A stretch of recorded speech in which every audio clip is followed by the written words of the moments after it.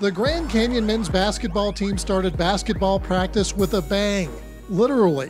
Head coach Thunder Dan Majerle rode in on a Harley for Midnight Madness. The Theme was the apocalypse, so we kind of went a Mad Max theme, and uh, it was pretty cool. I mean, you know, I've, I've, had a Harley for a while, and you know, had the sleeveless stuff on, which may be good or bad. I'm not sure. Give it up for Thunder Dan Majerle, the best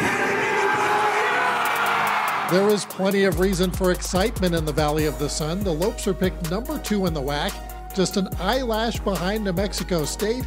GCU is coming off a 27 and 7 season. Our goal is always to, to win the WAC. Uh, you know, the first year we finished third, second year we finished second, uh, last year we finished second. Uh, we were the only team to beat New Mexico State last year. Uh, finished 11 and 3.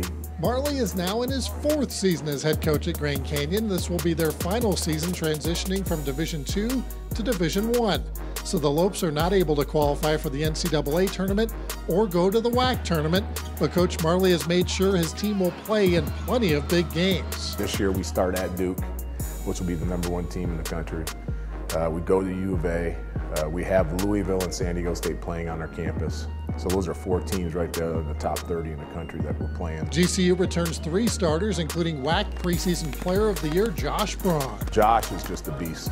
I mean, he he went through two surgeries this year in the summer. I mean, this kid's had, you know, I've had probably 12 surgeries myself, and he's, he's surpassed me by a long shot. So the way he just keeps bouncing back and um, playing and getting better. Majerle sees another great season ahead and plenty more to cheer about for the Havocs at Grand Canyon. Well, I hope we're deeper, um, more talented, uh, we're more athletic. I know that for sure. Uh, a little bit different. We don't. We lost a, a, big time inside score. I don't know if we'll have that this year, um, but I think we're tougher, more athletic, deeper. Reporting for the WAC Digital Network, I'm Eric Danner.